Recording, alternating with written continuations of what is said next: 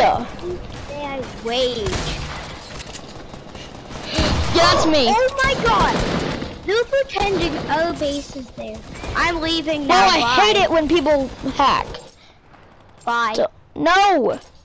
Fine, I'll stay for the rest of the game.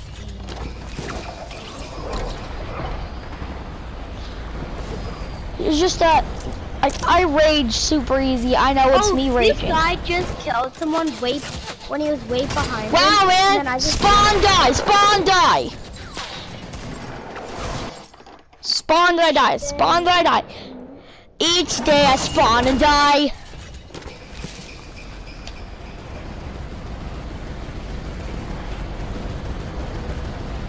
each day I poop and die.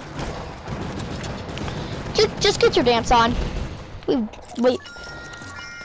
Okay.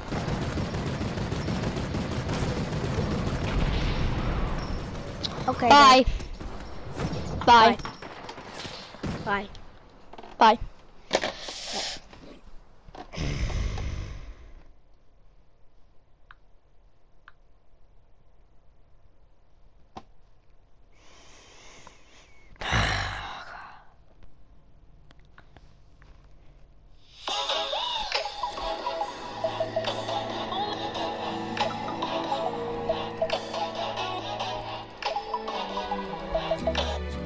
I'm Erik Voss, and Wreck-It Ralph 2, Ralph Breaks the Internet, contain more hidden details than I think we'll ever be able to find. Like, I wouldn't be surprised to find them there somewhere. I am internet, and I am broken. Let's uh, rewatch this movie, scene by scene, to see all the subtle Easter eggs that you might have missed. I mean, at least as many as we could find. Spoiler warning if you haven't seen the movie yet, and let's get started. Okay, this sequel opens back at Litvak's arcade,